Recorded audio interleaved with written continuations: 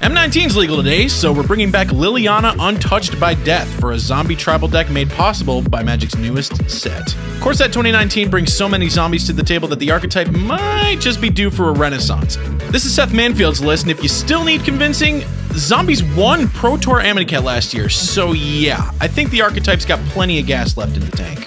The reason M19 revitalizes the otherwise undead is partly thanks to two important reprints, Diregraf Ghoul and Death Baron. The first one's got aggressive stats to give you some aggressive starts, and the other makes it really, really difficult for opponents to block.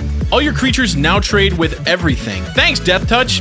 Graveyard Marshal fills in the 2-drop gap, doubling as a way to give all your bin zombies a second chance at brawling. But the real bright spot, the icing on the cake of the damned, is Liliana Untouched by Death. More often than not, by the time you cast Liliana, you've got enough zombies to activate her minus 2 ability to get anything in your path out of your way. But maybe that's not what you're in the market for. Maybe all your opponent's creatures are tapped and they're trying to race you. That's totally fine. You can activate Liliana's plus 1 ability and, more often than not, dump a zombie in the graveyard and drain your opponent for 2. From there, Liliana puts him to the test. Does your opponent want to spend a turn attacking Liliana and lose precious ground in a race? Or do they just ignore her and let her pick off a blocker next turn?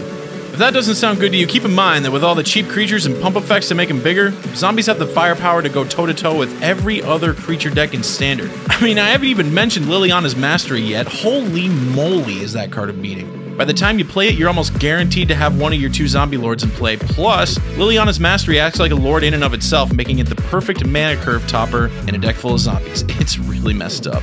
In a promising twist of fate, this zombie deck actually follows the same blueprint as the zombie deck that won Pro Tour Amonkhet. Flood the board and let a light smattering of removal spells clear the way for some devastating attacks while backing up the early onslaught with a proactive way to deal with creatures. In the M19 version of zombies, Liliana plays the Dark Salvation role nicely.